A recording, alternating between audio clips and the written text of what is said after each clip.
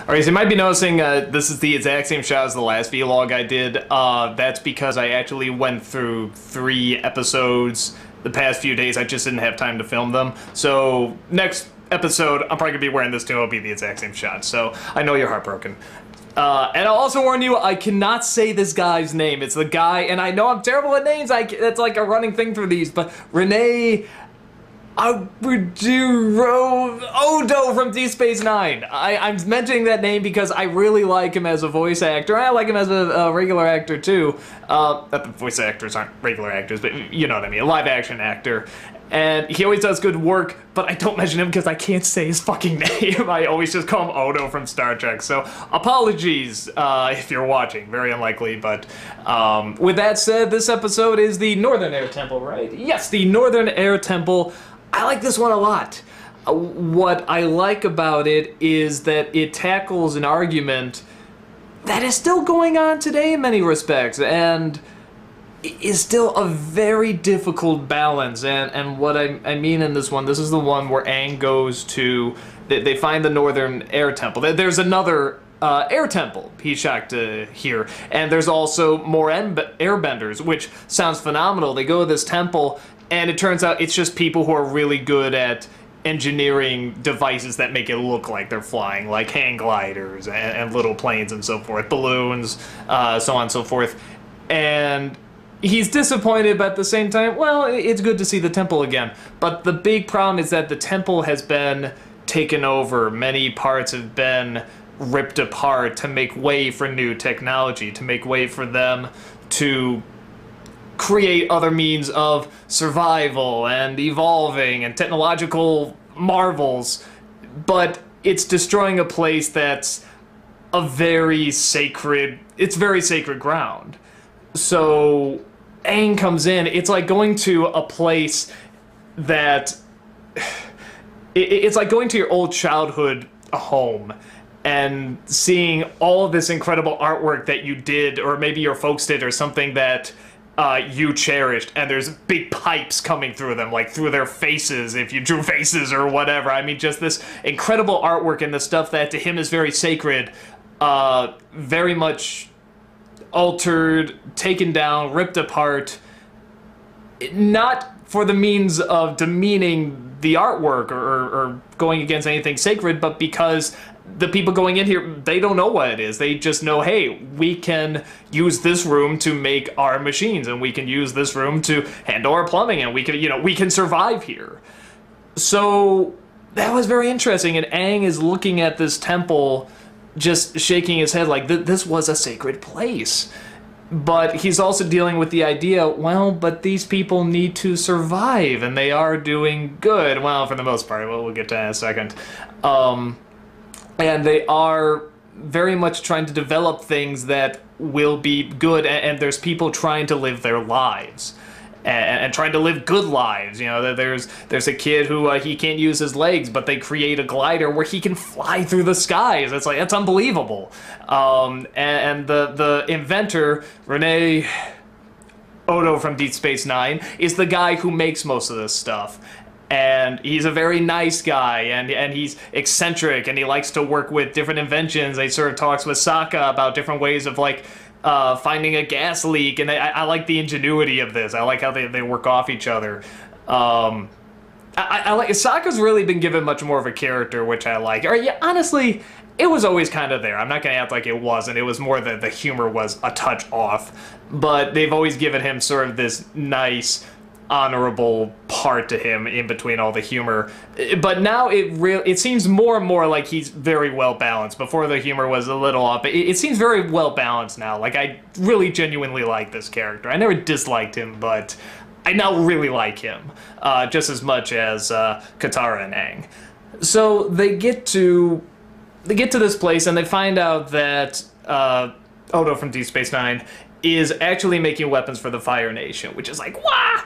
But it turns out that he sort of had no choice. If they wanted to live there, if they wanted to live in peace, the Fire Nation, Fire Nation would need him to keep making weapons. So Aang finds this out. Here's the explanation. The, the son of Odo from Star Trek is crushed, and they try to figure out a way around this, which I like. It, it would have been, it probably would have been easy just to make the uncle a bad guy, but they they made him too likable. They made him want to change over, and now he can't balance it anymore. He has to pick a side, especially with the Airbender being here now, the last Airbender. So they have this. They use all their ingenuity. They have this really nice battle. This is like a Lord of the Rings style battle. It's so creative. You got these people climbing up uh, the the mountain to get to this temple, and you got them throwing things down and, and, and, gliders going. You have these awesome machines that hook up their chains to the top, and they have these wheels that are like tanks riding the side of the mountain. Wonderful, very inventive. And what happens is that he uses this new machine, uh, which is pretty much a hot air balloon, uh, which Sokka figures out how to control. And I really like that. Good, good science for the kids, too. I, I like how he explains how we're going to do it. Uh, I, I like that ingenuity because that encourages other kids to eh, think outside the box, use their use their ingenuity, and I, I, always see the same thing with Miyazaki. I like it when he shows how things work, uh, and I think that's a good way to get kids into that. And for adults, it's just great uh, uh, seeing how they put it together too. And maybe adults can get into it. Who knows? We're not that old. So what we have is this big battle going on, and they, they finally win. They, they, they cast the the people down, the, the Fire Nation. It looks like it's all great. And it has this wonderful ending where the Fire Nation has the hot air balloon. They say, We may have lost this battle, but we have gained something really great from it. They now have a new weapon, these balloons, because that was always the thing the Fire Nation could never get in the sky. They could never conquer flight. And now they can. And that's a great dot dot dot that's a great holy shit this is bad kind of thing because now it's like nothing is going to be safe so that, that was a really good um, that was a good area to leave it off of the one thing i did sort of question about this and i don't know if it's intentional or not is that there's one room they couldn't get into and that's where the uncle I guess the uncle or the father, I'm sorry, uh, but is making these weapons. They say only an airbender can open it. Now, Aang opens it, but how did they get in before? Um, oh, you know what? There might have been that secret entrance there, because there's one of the Fire Nation guys come up that way or something. Maybe that's it, but uh, that'd be interesting if they're building that up for something. Like, maybe there is another Airbender, who knows? Um, but what I really enjoy about this episode is that this is always a really good debate about how close do you hold tradition. And a lot of things that Hollywood likes to do and I'm not entirely against it, but they really like to show tradition it's just tradition. Come on, uh, uh, move on. It's you're getting stuck with your traditions. I mean, this is the very you know screw religion side of, Hollywood that, that, don't act like it's not there. Um, but you know they're very much you know hey, you want to just keep chanting stuff and, and, live in the past and stuff. Come on, come on, move forward, help people now and stuff like that. And they're they're not necessarily wrong.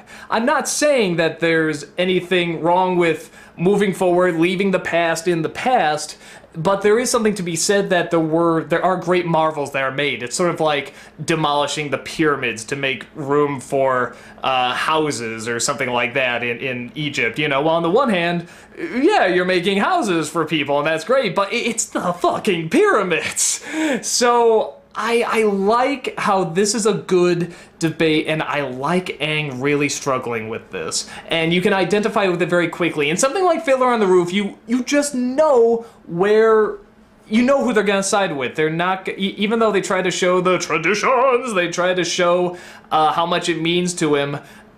it's still you know they're gonna go with the revolutionary. You know they're gonna go with the new ways. They know they're gonna go with uh, you know the young people essentially being right you know, even though everything doesn't everything doesn't go their way, you know that the younger people and the people breaking the tradition are the ones who are more in the right. I like this is a little bit more you're not sure. I like that they keep it uh, questioning it a little bit more. And, and at the end, they do sort of say it's, you know, they have a good heart, they have a good spirit, and they're doing this for the right reason, so it's alright. But at the same time, they are, that image of the painting of the monks and that pipe coming through one of the faces on the page. I, I thought that was such a strong image. That is a very strong image.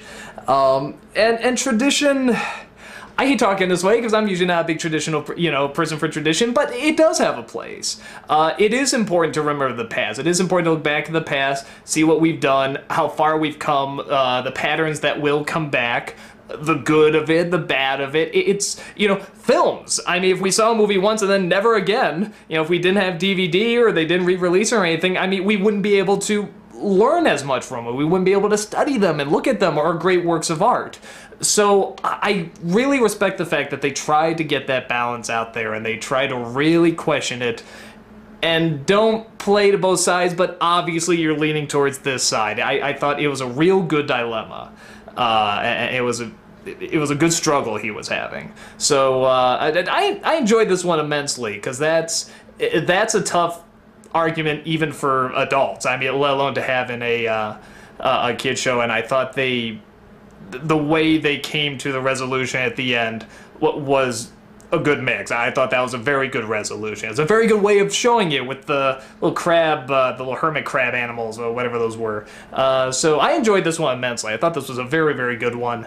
I mean, it doesn't does it tie directly into the story? Not much, you know. They get a balloon, uh, the Fire Nation, but it, doesn't matter. Filler episodes are fine if they do them very well. I thought this one was done very well and showed us a new place and new people, and uh, I, I, enjoyed it immensely. So um, that's this episode. See you at the next one.